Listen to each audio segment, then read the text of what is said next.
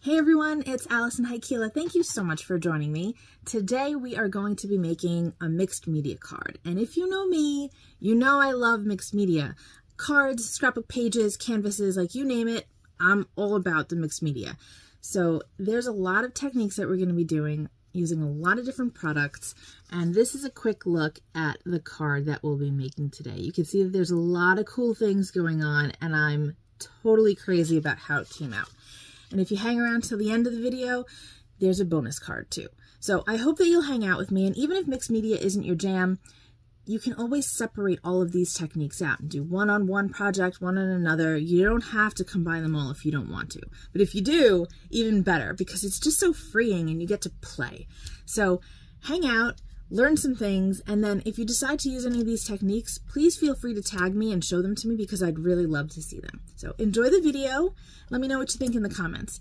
Have a great day.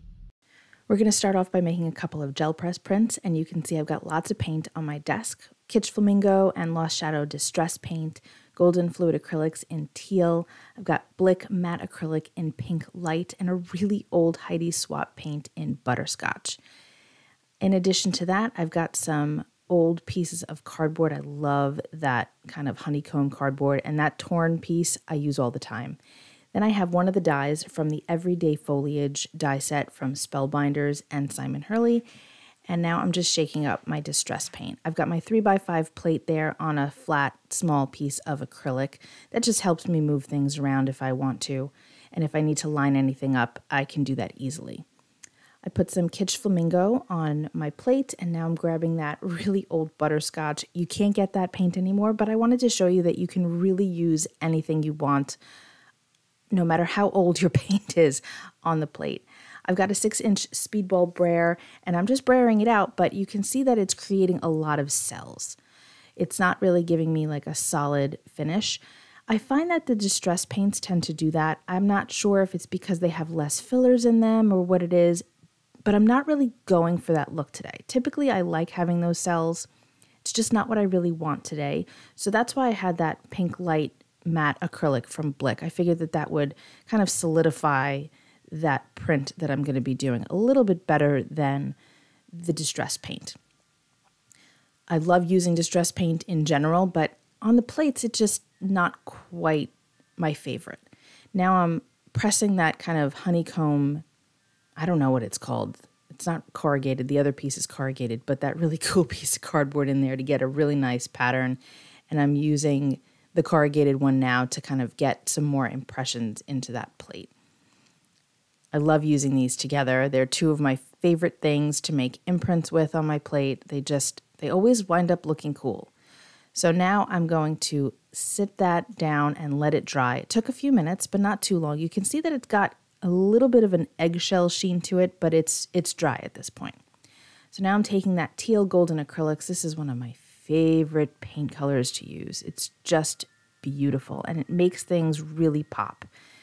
And I'm going to combine that with some of the Lost Shadow Distress Paint. Yeah, even though I get the cells, I just wanted to play around. I mean, gel press printing is all about playing, right? Just having a good time, not worrying too much about the results.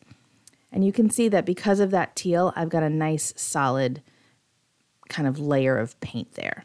So now I'm going to take that plate and flip it over onto my paper. And I'm actually using cardstock today. Typically, I just use copy paper when I'm making prints, but because this was going to be really my focal layer, and I really wanted to be able to distress it and, and do techniques to it, I didn't want to work with copy paper. I knew that I was going to be throwing embossing powder on it and whatnot, so I really needed it to be strong.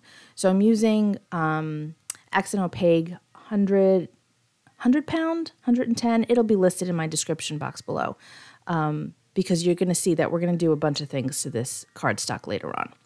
So I showed you how that print came out, and now I'm going to make a second print. You could see a lot of paint was left. I'm really impatient when it comes to printing. I like to just pull my prints, you know, pretty quickly, which is why I often work with multiple plates at once but for the sake of not being able to raise my camera any higher and zoom out any further, I wanted to make sure you guys would be able to see everything that I was doing. Look at how cool that roll off print is. Isn't that nice? I, I'll wind up using that in projects in the future. Um, so I chose to not work on multiple plates here because I wanted you to just be able to focus on one thing at a time. Look at how nicely that texture looks in the plate now because I didn't use the distress paint. Um, again, this is not to throw you know any shade at distress paint. I love using it. It's just other paints tend to work a little bit better for me on my plates, and this could be for multiple reasons. I'm not really sure which ones they are, but um, this print comes out really cool, and this is what we're going to work on for our final card. I needed some depth. I wasn't sure which way I wanted to go, which is why I grabbed those other paint colors, but I wound up going with Iridescent Copper Fine, also from Golden, because man, it is just beautiful. And I, I didn't really want to go with the other colors. I wanted metallic. So that's the way I went. I thought it would create a nice patina when it's mixed with that teal, and it looks amazing in the end. So again, I'm grabbing that same piece of cardstock. You can see why having your plates on a piece of acrylic is super helpful. This one is from Stampendous. I believe it's still available from Spellbinders. If it is, I'll link it below.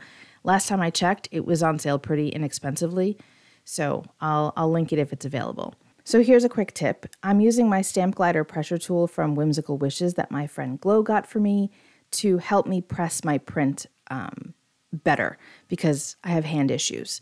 So it's been really helpful to use it not just for stamping, but for pulling prints as well. So here you'll see that there's a lot of copper and teal left on the plate, but that winds up being the back layer. I should have used teal and copper again to pull this last print just to get the excess that remained on my plate. But I wasn't thinking that there was actually pink and yellow or butterscotch on the top. You'll see when I flip it over. Um, but you know, it winds up just being a print I can use at a later date. I don't like wasting any of the the good stuff that's on my plate. I love having grungy prints, and this is definitely a set of grungy prints. But you can see here that eh, it's a little tricky to see that stuff that was left over, but it's all good. I'm going to wind up using it eventually, probably stenciling on top of it as well. So here are my finished prints. I trimmed them down. I think they look super cool. I don't mind all of that white space that's there. I think it looks awesome. So now I'm trying to decide, do I want to go with the more teal print or the more pink print? And just trying to figure it out. I think that they both look great. I'm really happy with how they look. I think that using simple things like cardboard is just such a fun way to go. So before I decide, I grabbed the entomology stamp set from Tim Holtz and Stampers Anonymous and my distress, my edge distressing tool, excuse me, from Uniquely Creative. And that entomology set, I, I just love it. It's so cool. I love stamping out those bugs and that big print in the background is just really rad. Um, I think it's it's super cool. You'll see that I wound up using that text stamp on this card, and it's just it's just fabulous. Here I've got some brown cardstock and I'm using my shears from Uniquely Creative, I'll have them linked below, to cut out um, that branch from the Everyday Foliage collection uh, from Spellbinders. And I grabbed Cattail Copper Brown Lindy's Magicals. It's from the Autumn Leaves collection. And it's so pretty, you guys. Oh, I just love it. Got my fan brush here. I'm just going to tap a little bit out onto my glass mat and then add some water to it with my Princeton Snap watercolor brush. Seriously, guys, you can use the cheapest brush in the world to do that. Doesn't matter. I just prefer my Princeton's. So I'm just adding a little bit of that shine to these leaves. Again, I use brown cardstock here, and I just thought that adding that cattail copper brown would really look amazing, especially with the bits of metallic that are in the background of those gel press prints. And you can see that they're so pretty already. They're so, they look delicate. This is actually a pretty nicely made, I shouldn't say made, designed foliage where it looks dainty, but it's got enough to it where it's not like gonna just fall apart. It's not as flimsy as some other foliage dies are that I've seen in the past. Um, I think that it's really a beautiful set. There's three in the set, and I love all of them, and I'm going to use the heck out of them. I hope you don't get tired of them because I, I'm kind of obsessed with them. They're beautiful. So now I'm doing a second one because I'm not sure if I'm going to do two cards today, if I'm going to do one at a time. I, wasn't really sure while I was doing this, but I wanted to make sure that I had them both done because I knew that I really liked the look. And, you know, I had my supplies out. So why not just do them both at once, right? So it looks like the cardstock is kind of getting super saturated, but it isn't. This is uh, a brown from Recollections from the Michaels collection. It's fine. It's like a 110 pound, I believe. Uh, not the greatest cardstock. It doesn't love water, but you could see that I'm not using so much that it's going to ruin the cardstock. Look at that shine, you guys. It's beautiful. So now I'm going to carefully put away the Lindy's Magicals and carefully cover my water so that I don't spill it everywhere. And we're going to move on to the next step. I'm letting those dry on the side because I don't need them for a little bit. So here I've decided that I'm going to use that pink panel. It's so cool. I'm so happy with that. And I'm trying to figure out, do I want to use two on here? Do I want to use just one? And I go back and forth, but ultimately the one is what I go with. So here's how you use that edge distresser. And you might remember this from way back in the day. Um, Heidi Swapp, coincidentally, had something like this a long time ago. I still have my old one. It was well loved. so now I've got a new one from Uniquely Creative, and essentially there's a little tiny blade sticking out of where that like piece of pizza is cut out. And it tears up the edges really beautifully without you having to worry about nicking your fingers or getting your nails caught or anything like that. Makes a little bit of a mess, but you just sweep that away into the garbage and you're good to go. And you've got these really fantastic edges. So now I have that large text background stamp from the Entomology stamp set. And I've got my Lost Shadow Distress Oxide, and I'm stamping that whole thing. And when I have big stamps like this that are cling, sometimes I just leave them on my glass mat, and sometimes I pick them up and just stamp that way without um, without a block or a stamping tool or anything. I find that when I'm doing like grungy mixed media things, I don't mind if the if the large stamps are imperfect. It doesn't need to be because we've got a distressed look going on anyway. So it can be a bit of a mess, and I'm good with that. So I'm just repeat stamping so that that whole panel is covered. And then um, we're going to move on to, I believe I'm going to add another color on top of that at the next step. Doesn't that look cool already? It's just Simple, fast, cool. I love the Lost Shadow color. That gray is just fantastic. It's such a good gray to work with, and I use it so much. So much. Like I can't even explain. You might be like, eh, it's just a light gray. It's not. It's so good. so now I have Broken China Distress Oxide, and I'm not covering the entire stamp. So now you can see that I'm doing the stamping in a different way. I'm leaving the stamp directly on my glass mat and pushing the card base into it. So you can do whichever way you're comfortable with. I, I like to do both. It depends on the effect I'm going for, it depends on my mood. You do it however you like, but I think that this comes out really cool and just makes some of the text pop and some of it recedes into the background, and I, I just really like it.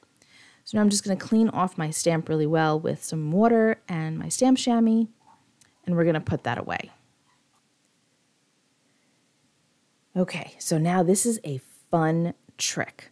Wax seals are like the thing right now, right? But I have a different way of doing it if you don't have the wax and you don't have the seals. This is Seasonings Embossing Enamel from Stampendous. Unfortunately, you can't get it anymore. But if you have a bunch of different embossing powders that have you know, some chunky and some fine and different colors. You can make your own mix that is super similar to this. This has a ton of metallics and some black in it. And what I do is I just pour it. I'm sorry that it's not super clear at the moment. Um, I pour it right onto my card base. Uh, not card base, my panel, excuse me, and I'm heating it up from below because we didn't use any Versamark here. So we don't want it to fly all over the place. And I've got that round postage stamp on a block and I'm just gonna push it right into that molten embossing enamel. You don't have to worry about it ruining your stamp. I would not do this with clear stamps, only do this with rubber, you guys. And then I'm gonna pull it away and look at how cool that is. You have this great impression from that stamp, but I feel like I don't have enough powder on there. So I want to do it again. And you don't need to worry, you're not going to mess anything up. You're just going to wind up remelting all of that powder plus the extra that I just poured on there, and we can do the same thing again. So I'm just going to melt it from underneath because if I do it from the top, the heat gun is going to push all of that powder away. It's going to blow it everywhere. So we do it from below, push that stamp in, let it sit for a moment. Obviously, we want it to get a good impression. We don't want to burn ourselves or anything like that because it is a molten powder.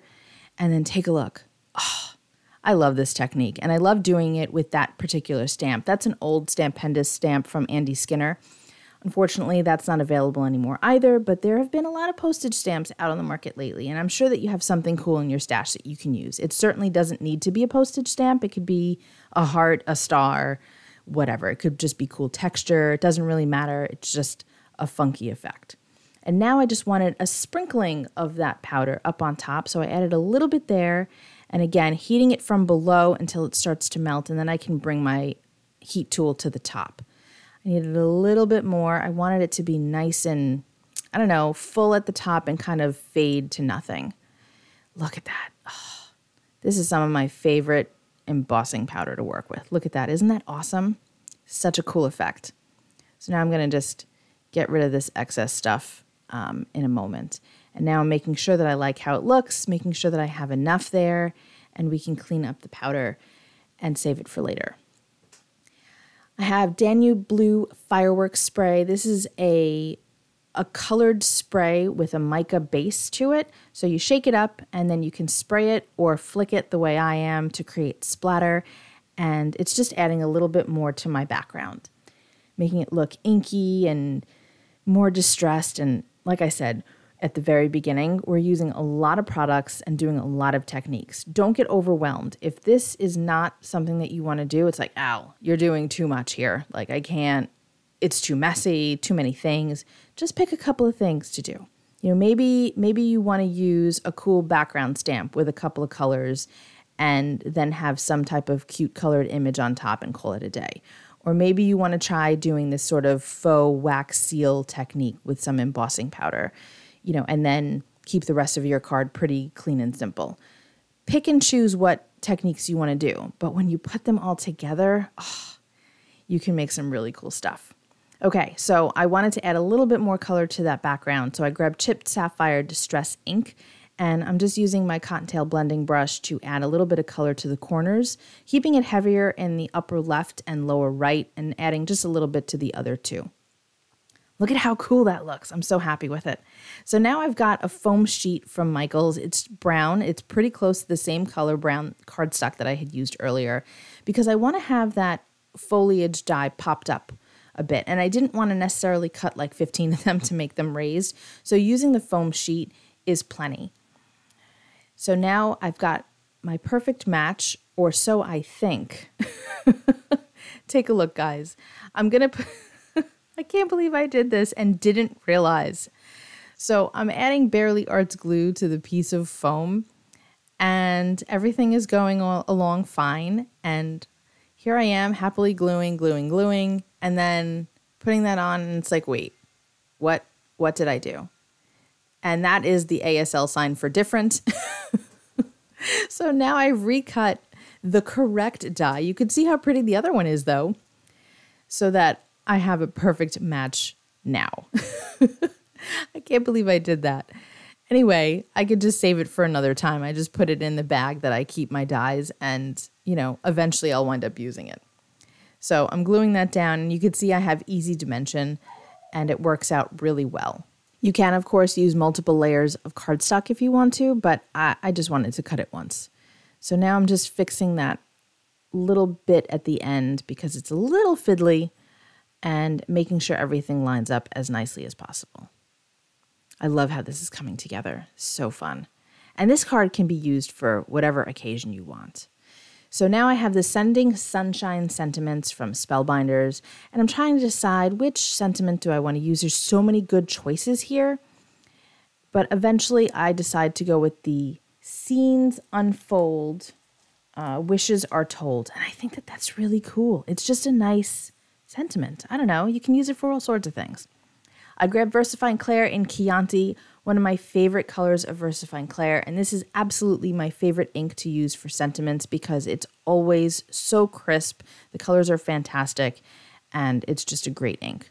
So I have a tiny little white strip there, and I'm stamping that down with my block. If you feel more comfortable, you can of course use a stamping platform, but I tend to just free stamp it with my with my block and go with that. So I'm going to just wipe this baby off because I always do that. I wipe my stamps off right away so that I can put them back so that they don't get lost. And I have Kitsch Flamingo Distress Oxide now. I'm going to just trim this down with my tonic trimmer if I can move everything out of the way. I'm just lining that up so that I can get a nice edge. You can go in with a scissor if you want to, but I tend to just use my trimmer because inevitably, even though that strip is super small, I will cut it crooked and then I'll ruin the whole thing. so now I'm just going to kind of rub the edges of that Distress Oxide on the sentiment strip. But I'm not going across the whole thing. I don't really want to make it super pink. I just want a little bit more because it was too white and perfect before. So now I'm just trying to figure out my placement and it fits really well. I'm happy with that. So now we're going to start gluing. Gluing, gluing, gluing all the layers down. Again, I've got the Bearly Arts glue. I'm really happy with this glue. I think it holds securely. It goes on well. It dries quickly enough, but it allows you to have some movability if you need it. You can kind of fidget with things a bit if you need to. And now I'm just putting that giant acrylic block on top so that things will stay down while I'm gluing everything else. Adding some more glue to the back. This is the foam side, obviously, because we don't want to hide that beautiful shine we created with our Lindy's Magicals earlier. And now I'm going to just place that right there.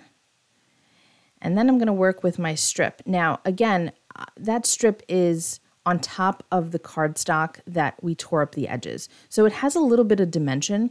So I'm adding some more of the leftover strip that we trimmed off a couple of minutes ago to the back so that it's a little bit more even on both sides.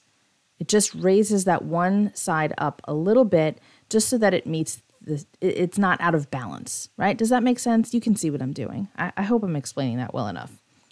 I didn't want to use foam because then it wouldn't be even with that top layer. So the cardstock brings it up just enough so that it is a little bit more flush. That's the word I was looking for. So now I'm adding some more glue. And this is totally the most exciting part of your day, I'm sure, watching me glue things, but you know, it's important to leave in, right? So that you can see how I did everything. So, what do you think of these techniques? Are these things that you've done before? Are these things that you haven't seen? Are you going to try any of them? I'd love to know what your thoughts are. So I needed some more shine because really, can you have too much? I don't think so. I grabbed some card bling from a Colorful Life Designs. I believe this is called Opalescent Cashmere. I'll have it linked below, of course. And I'm just using my jewel picker to place some of these pieces around. And this is an arduous task for me no matter what. I I don't know why I struggle with it. You know, you'd think that it, for somebody that has worked with sequins for as long as I have, it shouldn't be such a difficult thing. And I tend to go in threes, and I know I want to have some type of triangle and kind of moving your eye around the card, but I don't know. I just struggle with it. Anyway, I've got on point glue. This is my preferred adhesive for when I'm working with sequins and rhinestones and gluing them to the top of my cards. I like to have my on point and my pokey tool in my right hand, and then I put my jewel picker in my left, and I let the obviously the jewel picker picks up the sequence, and then the pokey tool helps put it down. But I don't have to keep flipping tools back and forth because I'm holding all of them at once, and it makes it so much easier. That's the finished card, you guys. I love how this came out. There's hints of shine everywhere, there's texture, there's dimension. It's just really cool and it's it was so much fun to make. I love I just love mixed media cards. I do.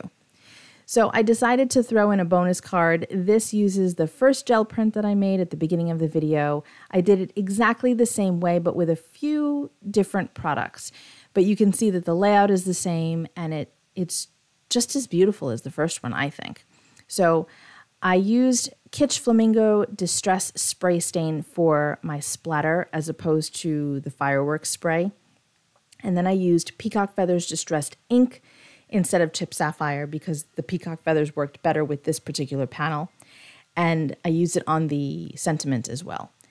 For the embossing enamel, instead of using the seasonings, this time I used it's called Shabby Pink. Again, not available anymore. But if you've got multiple types of embossing enamels or embossing powders at home, you can totally make something like this yourself. Chunky white, some gold, a little bit of pink. You can throw some glitter in there, and it just looks really fun. For my sequins, this time I used Opalescent Taffy, also from A Colorful Life Designs, in their Card Bling collection. And I think that's pretty much it for the differences. Came out really cool, just like the other one. It's just got different colorations. Oh, so pretty. I'm, I'm loving these. I hope that you guys are too. Let me know in the comments what you think of these and, and if you plan on trying any of these techniques. That's it for me today, you guys. I hope you enjoyed this video. I hope you learned some things, and I hope you're inspired to get out a whole bunch of products and just play. I hope you have a wonderful day. Thanks so much for hanging out with me today. Be well, stay safe, Peace out.